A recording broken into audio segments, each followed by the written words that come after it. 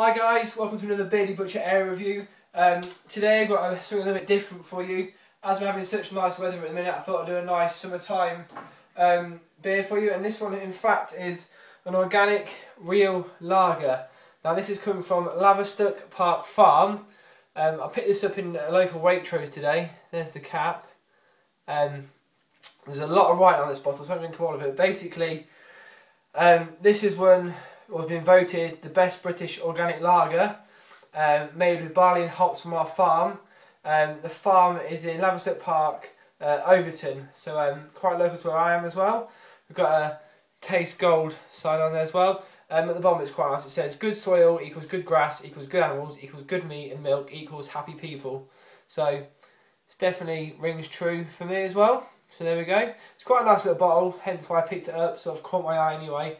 Um, I've not really had a lot of um, what they call real lagers, sort of, you know, not your bog standard what you get in the pubs. Um, so be quite an experience for me. Um, quite excited to be honest, haven't got a clue what to expect, so let's get into it, shall we, and uh, see how it goes. So we'll give it a pop. There we go. A little bit of smoke on there. There's the cap for you guys. Bent it up a little bit. Right. Let's get it in a nice little glass, we, and give it a pour. Sort of, it's definitely got a lager smell to it, to be honest. I'm getting slight hops, but nothing, nothing, you know, nothing amazing on there, but we'll give it a go anyway. We'll give it a pour, see how we go.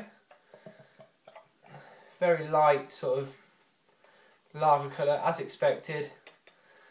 Um, quite a lot of carbonation, as I thought. Um, quite a light golden colour to be honest. Um, it's kind of a little bit cloudy as well, if you can see that, if I can put my hand up to it. It's a little bit cloudy, which is something different, but um, anyway, let's give it a nose, shall we?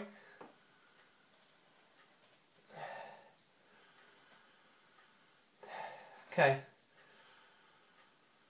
I'm getting a bit of hops, but only, like I said, a little bit of hops to be honest, nothing, nothing's actually coming out at me sort of, there's a little bit of a biscuit note, a, little one, sort of, it's like a digestive biscuit that you've crushed up in your hands and sort of, you know, you sniffed it.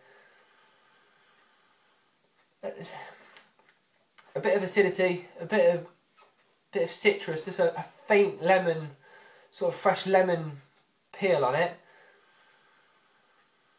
A little bit soapy, to be honest. A bit of a soap on the nose, but anyway, let's give it a go, guys. Um, haven't got a clue, so cheers.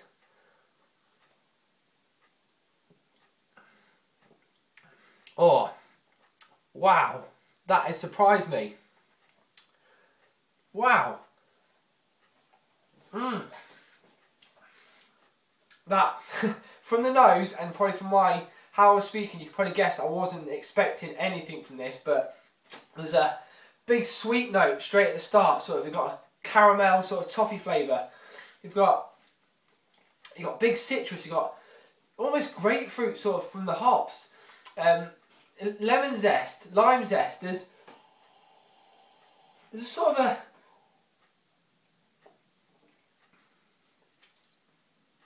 there's almost a, a chocolate orange taste at the back. And now that big biscuit maltness is coming out again. I, I, flabbergasted. We've got that is so complex for what smells to me like quite a basic lager. I mean, with a few little notes, like I say, but the taste. It's like I tell you what it is. When you get um, a creme brulee, you smack the top and you eat the crispy bit the burnt sugar. That's what I'm getting. That sweet, first sweet note on there. That's what it is. And then you've got the cut of the citrus, like I say, the grapefruit and the lime. A sort of chocolate orange straight at the back of the throat that I've got going. There's a the biscuit maltiness. That is delicious. That is has surprised me more than any of the beer I think I've had in a long time. And now, as it is sitting in the glass, I now I've tasted it. Also, I'm getting more notes on the nose. I'm getting a bit of that sort of orange sort of chocolate sweetness in there. I'm getting definitely more of the sugar sweetness as well as I'm giving it a good sniff. But, mmm, it's so refreshing as well. On a day like today, it's so hot outside. That is absolutely delicious. I guarantee, you guys, you need to get out yourself. I mean, Waitrose where I got it from. Not seen it anywhere else, but I'm sure you could find. They've got a website as well, which is www.laverstokepark.co.uk. This is the organic real lager, 4.5%. Go out there, guys. Give that a go. I mean, it's just really, really surprised me. I wasn't expecting to like it. I don't. Well, I used to say I didn't like lagers. I do. Real lagers, very, very good. Check these guys out. Get yourself a bottle. Drink it. I had this slightly chilled. Definitely, you know, benefited from being slightly chilled. Give it a go.